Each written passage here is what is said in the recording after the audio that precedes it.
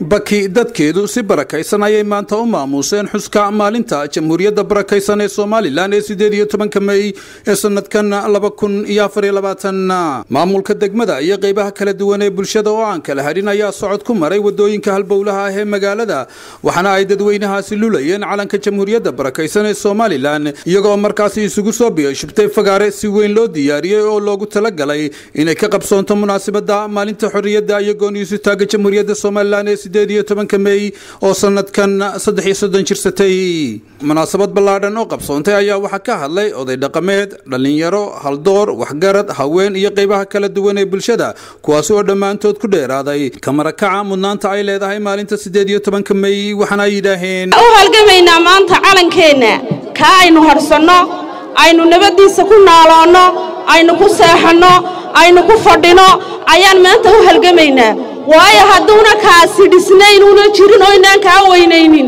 nabadi ma jirayso sow maaha. Sow nabadi ma jirto maaha. Laa ilaaha illallah baa ku qoran.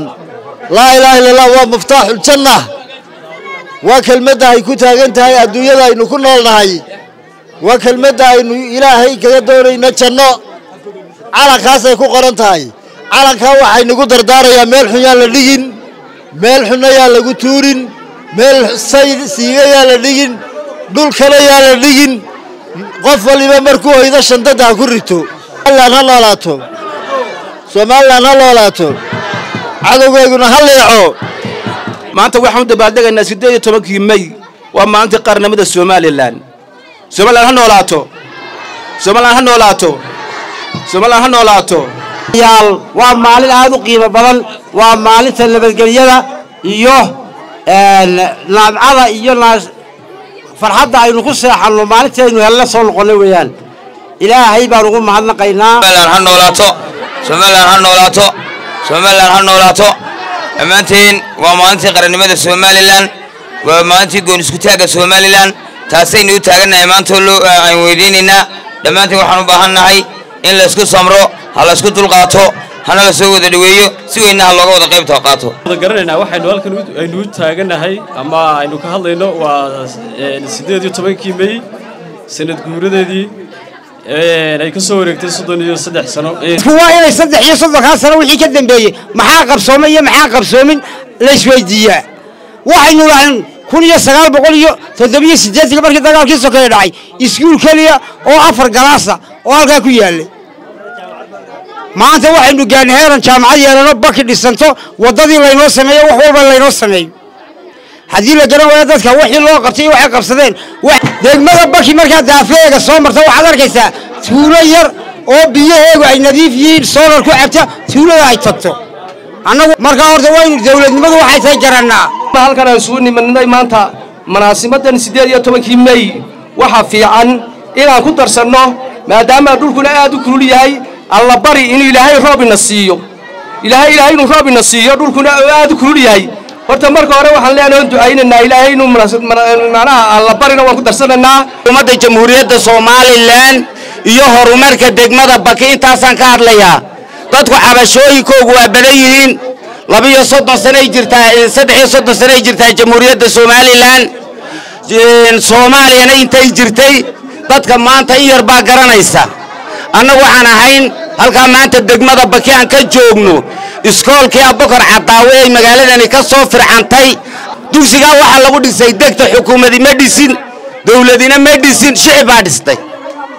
Maantana tuulada makhaayadda ah aayadii meesha ay ka dhisan tahay maantana galaas iskool baa ka dhisan caafimaad baa ka dhisan biyaa ku jira macallimiin baa joogta caafimaad baa jooga waddooyin isku xidhaa jira. Waxyaalaha aan ku xasuusanayno waxaa ka mid ah somalilan saddex iyo soddonkaa sano waxay noo qabsoomay horumar badan oonan inoo qabsoomin dowladdii maxamed sidiyaad barre ee rajiimka ahayd. Waayo dowladda annaku rajiim bay noo ahayd rajiim waayo koob iyo labaatankii sannadood ee haysatay dalka baki waxay ahayd meel bannaan oo goodoosan bay ahayd. Ma lahayn iskuulle ma lahayn waddooyin ma lahayn wax horumaro ka muuqdana ma jirin waxaan yahow ku dhowray dhiriya ubax kaa dhex beeray dhibaatada kaa ilaashay dhallaankayga kaa jeclaaday nin dhaalo maxaan ku dhaafiyey hee dhacanayo dhehaya dhalaalka tawxiidka dhanka sare ku yaalla ninkii koruu dheehan waaya ninkii dhadhankiisa diida dhegtaa ninkii kaa furaysa maalintu malagu dhawaaqa ayad dhuunta mari wayad mari dhuunta somalilan ha noolaato ha noolaato somalilan ha noolaato halkan waxaan hambalyo uga dirayaa ciidamada qaranka sida ee jiidda hore ku jira ha noolaadaan cadowgoogu ha jabo ha guulaystaan. Xogayaha fulinta ee dowladda hoose ee degmada baki mudane maxamed faarax qalinle oo isaguna madashan ka hadlay ayaa u hambalyeeyey bulshada reer somalilan waxaana uu sidoo kale ummadda u rajeeyey inay ictiraaf iyo guul ku gaadhaan sanadkan sanadkiisa. Waa maalin qaran waa maalintii sideed iyo tobanka mey u astaystay qaranka. Waxaan leeyahay guud ahaan dalka. Somalilan hambalyo ayaan leeyahay waxaan idinka mahad celinayaa soo ajiibitaanka aad soo ajiibteen ee aad hawlihiinnii barnaanka dhigteen. Ee aad carruurihiinnii ka timaadeen. Ee inaad xustaan maalinka aad garowsateen. Waan idinka mahad celinayaa dhammaantiin. Hadal waxaan ku soo koobayaa hadalka ma badinaya anugu waxaan uga baxayaa maayirka gobonnimo ilaah ku dhashay goobta ku heshiisay. Oon guulla mooye cid kale garabku siinaynin. Geyigeenna somalilan buu u gaar yahay warhoy nabadda waa lagu gamaayaa la garan waayin miye ku-xigeenka degmada baki mudane dayib xasan raage cudad oo isaguna hadalka soo afmeeray ayaa tilmaamay inay xukuumaddu ka shaqaynayso sidii maalintan siddeed iyo tobanka mey ay u noqon lahayd maalin ictiraaf caalamiya hesha waxaana uu bulshada uga sheekeeyey taariikhda faca weyne ay maalintan gooniisu taaga jamhuuriyadda somalilan leedahay waxaana uu yidhi waxaan u taagannahay ma calanka calanka kora loo taago. Waxaan maanta u taagannahay dhammaanteen calanka.